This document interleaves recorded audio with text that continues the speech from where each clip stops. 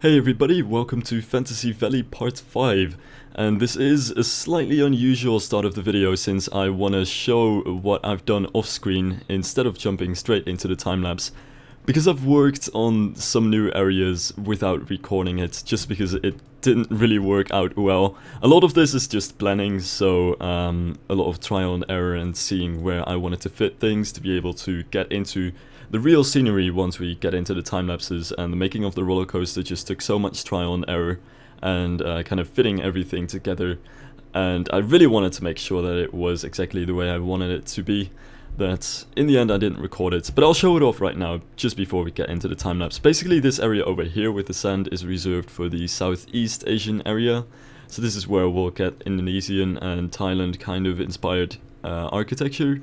And on the left we have the Arabian area, and in the middle the only part which I'm actually gonna go to right now, and which has a bit of a rough draft, is the Far East Asian area. So this is where we're gonna basically put China and Japan and Korea into one big mish mesh of uh, a theme, which hopefully is going to work out well because they are definitely different styles, but we'll see about that later on. And it basically has a big flying coaster going straight through the middle of this now I don't want to spoil it too much because you'll see me doing that stuff in a time lapse that I'll go into in a bit. But the very basic layout of this is having the coaster uh, just go on the side of the mountain here, which is going to be like the big centerpiece of this area. And uh, this is reserved for the larger path works. Maybe a ride over here if there's space left for it.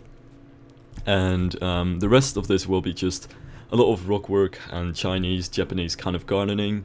And this is all going to be backstage and the transfer track for the coaster. And on the sides, we'll be able to connect to the other areas. So there will be hopefully one path into the Southeast Asian area here. And this one's going to lead into Arabia. And it will all be pretty tight and uh, very close together. So I'll most likely end up having some Phantasialand kind of walls be, um, well yeah, between all of these areas with a lot of very dense theming. But yeah, that's what I'll get into the time lapse. So let's go. Now with everything else already done, we can hop straight into making the first building, which is always interesting since the first building kind of sets the scene for what the rest of the theme is going to look like and it's sort of the prototype of the theme in that sense, except in this case it's a little bit different I think. Since the first building that I want to work on is a pagoda, and you might remember that I've already made a pagoda in Planet Coaster before, but that was in Alpha 1, and we didn't have all of the amazing details, all of the new pieces and the recolorability that we have right now and um, I think in hindsight I can do a lot better than what I did then. Uh, so that pagoda was more or less just a bunch of boxes which were supposed to resemble a pagoda somewhat, but this one hopefully should become a cool detailed Asian building and kind of a good idea of what the rest of the area is gonna look like. So, the first thing that I wanted to get into, and this is something that you'll see me doing a lot throughout this entire theme, and because of this it is also going to be a very time-consuming theme to do, so I hope you're in the mood for Asian stuff, because we're gonna be sitting through this for quite a few episodes. I'm basically gonna have to make everything from scratch, and that is really the point here. There aren't any Asian walls, there are no Asian roofs, there are no Asian details in this game yet. There are some things that you can definitely use for it, like the lantern chains, but most of it I'm gonna have to make myself. So the first thing that I needed to do here is actually get some of those very typical Asian gables and uh, curving corners that I really needed to have to make Asian buildings. And I'm gonna have to make all of these things before I actually make the buildings themselves, and almost half of the time sometimes is gonna be sunken into actually making the pieces to make this theme happen. Um, so obviously in the case of this pagoda, I wanted to start off with the roof since it is really the most recognizable, distinct feature and also the one that um, you can't very easily make with other pieces like the walls and windows and things like that. Um, or well, I'm saying windows, but many Asian buildings don't even have windows. Uh, say paper screens and things like that can always just be made with the wooden posts and mixing different kinds of uh, pieces. But the roof was really a very tough point and I'm super sorry to anybody who's a game developer or designer and looks at this and is already horrified at the polys. Um, I'm gonna have to watch out with all of the faces and I will actually keep some of the builds less detailed than I would have liked to do just because this is gonna lag up the game way too much if I keep going this way, because obviously this roof right now is made out of hundreds of different wooden pieces that are all really small and have many faces, many of which you don't see, but they are still getting rendered by the game. Um, so this piece alone would be about 300 pieces or something like that. There is no way that I could even upload anything of these buildings to the workshop because there are way too many polys in them. And um, yeah, I basically want to watch out and use the least amount of pieces that I can use to make things look as convincing as I can here and there. But even so, this is going to be pretty heavy on my PC and I hope the frame rate is also not going to drop too much. Uh, now back to the building. I just made those quick walls with um, the kind of very quick window looking things. I'm not entirely sure how happy I am with them, but the windows look good enough I think, and I didn't want to get um, more small details than I had to in this case, and especially from a distance I think it looks pretty alright, so I'm going with that. And what I wanted to do here is get the roof support and the roof decorations that you see on many of these pagodas in very quickly. And that should be really the base piece for this. And um, that's really why this is quite a nice building to make because it's obviously symmetrical on all four sides so I just have to make this one piece and um, copy that over to all of the four sides and that is basically one floor done. But also I will actually use this piece to make the entire pagoda. Um, you might know that pagodas actually have this sort of building up structure to them, like each floor is slightly wider than the floor above it, so they always kind of tower up, which um, is neat for the force perspective as well, because it does make them look taller, but in this case I will just have every floor be, well, exactly the same width, just because it's a lot easier and I don't have to remake every roof. I might get back to that in the future, but that's probably not going to happen, it's just too much effort and too many pieces for something which is not even that visible and I'm quite happy with how the pagoda looks even with floors of the same size, so um, I'm probably gonna keep it this way, which is one thing that isn't entirely realistic about this. There will definitely be many of those things as well. Um, but yeah, that basically finishes off the pagoda. It's a pretty standard three-story pagoda, which I'll talk more about in a little bit, but first I wanted to get that peak point on the pagoda. Pagodas always have like this post on top of them, which is actually like the central column, I believe, which goes through the entire building and keeps all of those all of the floors together. I don't think it actually carries any weight. It's just kind of like a big, uh, well, steady pendulum in the middle of the building that really holds everything together. Uh, but they always have these decorations on top of them, which are always the same decorations and always in the same order and I definitely can't get all of them in since we don't have pieces like that in Planet Coaster, but I definitely wanted to get these sacred rings in there on the post, which are like those round things that you always see on the peak of a pagoda. So I got those in there quite quickly. Um, and that really finishes off the top of the pagoda, but you might have noticed that I'm making this like extra piece at the bottom here. And the reason why I still feel a bit weird about doing this is uh, that well, a few years ago I was told that pagodas always have an odd number of stories, and at the time I was still happily making four-story pagodas everywhere, uh, which wasn't really good, because, uh, well, there are a couple of types of pagodas, um, like every country has different types of pagodas, and uh, they all have different types within the countries as well, but most of them have an odd number of stories, and this is what you would usually see, and especially the type that I'm making right now uh, you would definitely see with three or five stories, but I found this one which had uh, four stories in a way since it has a bottom story without a roof on it but just that big balcony going around it which um, I thought was interesting because it sort of gives the building the extra height that it needed. I was playing with like how I wanted to lay out the pagoda before I got into this episode and it really seemed like a three story pagoda was too low but a five story pagoda was too tall and a seven story pagoda is just madness, um, so I was not really sure what I wanted to do there, and in the end I wanted to raise the rest of the pagoda by adding that base floor which is a bit higher and doesn't actually have a roof underneath it, just to give the building the right height. Which doesn't necessarily make the pagoda itself look better.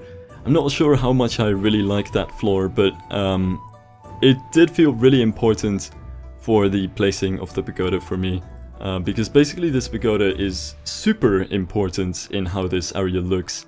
Not just because it's uh, a pretty big uh, thing and it's very eye-catching, it also really has a pretty important role in how the area is laid out and it's very similar to the pagoda that I made earlier actually.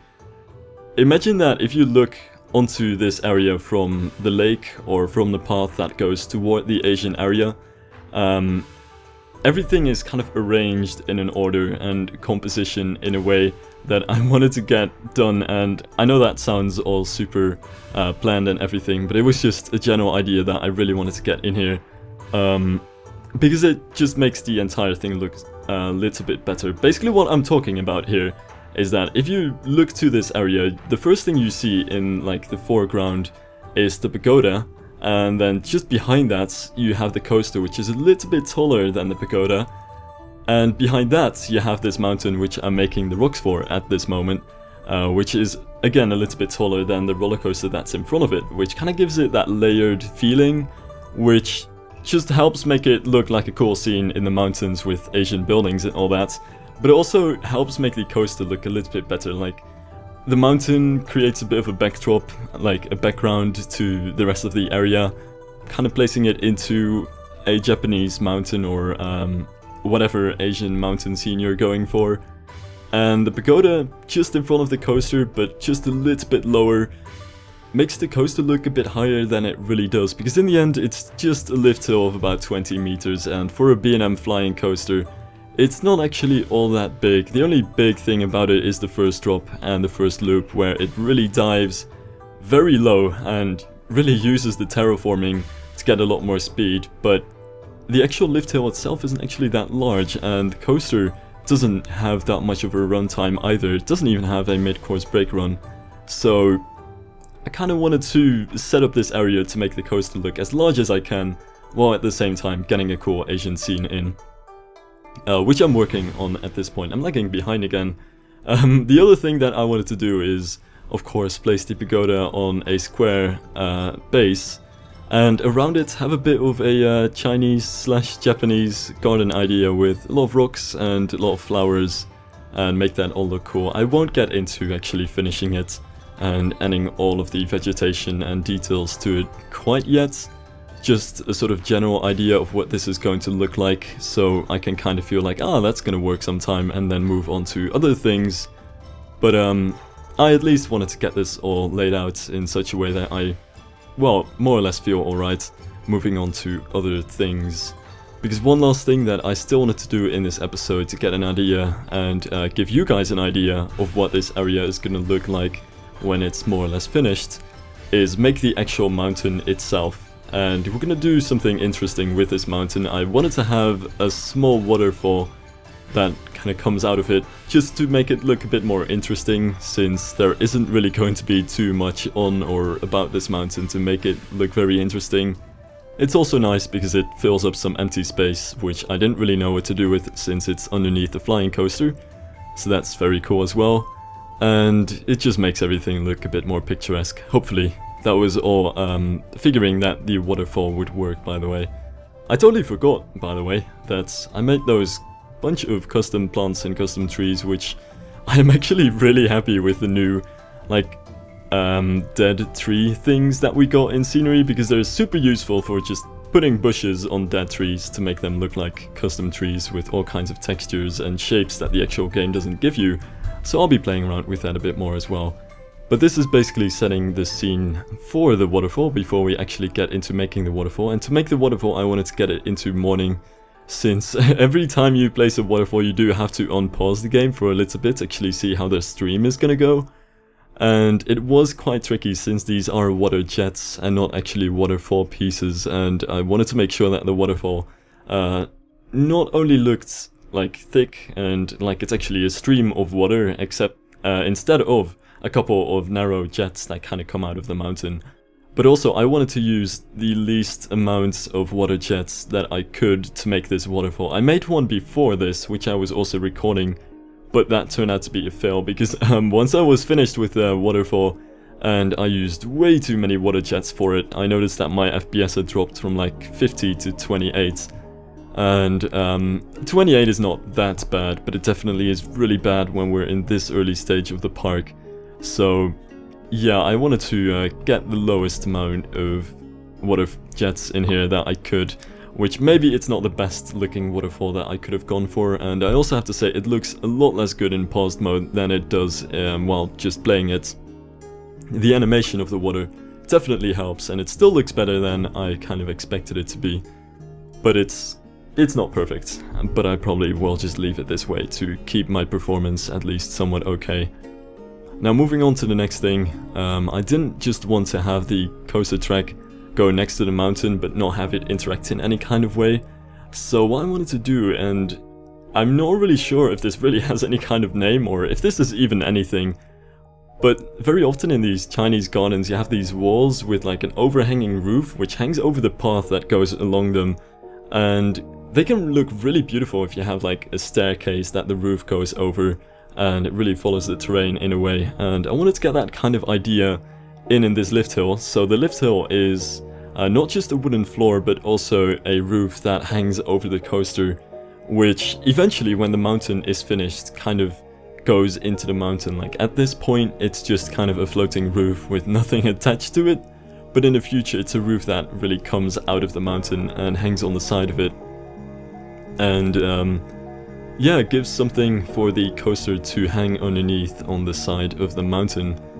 Quite simple, um, but it's something which just makes everything look a bit less boring, and I thought it was a fun idea and wanted to play around with it. And I just quickly built the thing here to try and get the very precise placement that I wanted. I actually had a bit of a problem with the, the coaster. Um, I completely forgot what those things are called. But basically the squares that hold up the catwalks of the coasters since they were poking through the roof and there's no way to really get rid of that completely. So there's a still a tiny bit that pokes through the roof, but still I'm really happy they added those things in Alpha 3. That's definitely a, a very good addition when it comes to realism. But at this point they were kind of annoying. Now finally making the actual mountain itself to get an idea of what that thing is going to look like. It's gonna end up being a bit taller than the coaster itself and I wanted to use actual rockwork from the game for this instead of terraforming. There are a few reasons why I wanted to do this. One reason should be very obvious, I still suck at the terraforming tool, I'm terrible at it. I tried to make like a mountain with a lot of like detailed rockwork with the terraforming tool and that turned into disaster, so that's one thing that we're not doing. But also it has that different texture which you can't exactly get with the terraforming tool and just those rough sides on the side of these rocks that really give it this very jagged kind of rock uh, texture to it, not just when it comes to the texture, but really the shape of it, is something which you cannot get with the terraforming tool, and um, I'm just most happy with how it looks with these rocks. The only thing that I'm concerned with is that it might lag up the game a lot, which would be pretty bad. So I'm trying to keep my rock usage still as low as I can, and the terraforming, at least right now, is a guideline as to where the rockwork is gonna go, so I don't end up with any rockwork that's not really necessary, but it's still placed, and that'll just add extra lag into my game. But you know, still, this is not a very PC-friendly alternative to terraforming. That's one thing that I do have to keep in mind. Uh, now supporting is also a pretty interesting thing. You might have noticed that a large part of the coaster is not actually supported and I wanted to get some custom supports in on the coaster itself, not just this uh, roof thing that I have going on the lift hill, which I'll get into in a bit, and the reason for it was more or less that I lost many supports just because of the way that this coaster is built. But also many supports are actually turned off on many sections. Obviously I wanted to turn off supports on the lift hill since I wanted to make this roof thing. I also wanted to turn off supports on the drop because the supports of the flying coaster and the inverted coaster are still really wide and they go everywhere you don't want them to go. Um, and in this case they would have gone straight through the pagoda, so that's not a very good idea. But I think in the end it's actually much more fun to try and make some custom supports than just using the uh, in-game ones because you can kind of make them part of the theme in a way more interesting way than just these colored steel beams that you could find in any Six Flags do. So I'll get into some wooden supporting in a little bit and talk a bit more about that. First I uh, needed to get a few more rocks in here and there. I'm gonna do much of the rock work kind of spread out over the bunch of episodes that I'll be having about this theme.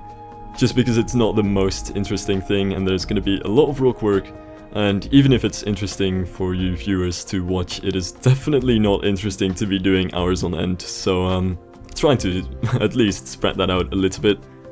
And um, add as much foliage as I can around it too to make it look a bit more interesting.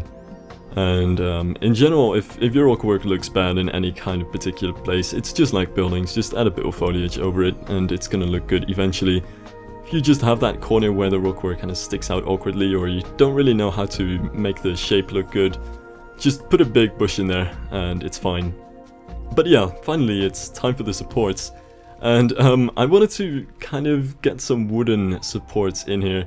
Make it look like uh, real unique supports instead of trying to make it look as close to the in-game supports as I can. Because there's no way to actually make it look like the in-game supports, but also this is a bit more interesting, I think, since it has that sort of um, mountain Asian, um, well, not all that safe wooden structure to it, which in real life I would probably say these should be steel supports with a wooden texture painted on them, which is actually a thing, which is really nice. But that's it for this time lapse, so I'm gonna close this video off with a few cinematic shots, and I hope to see you guys later. Bye bye.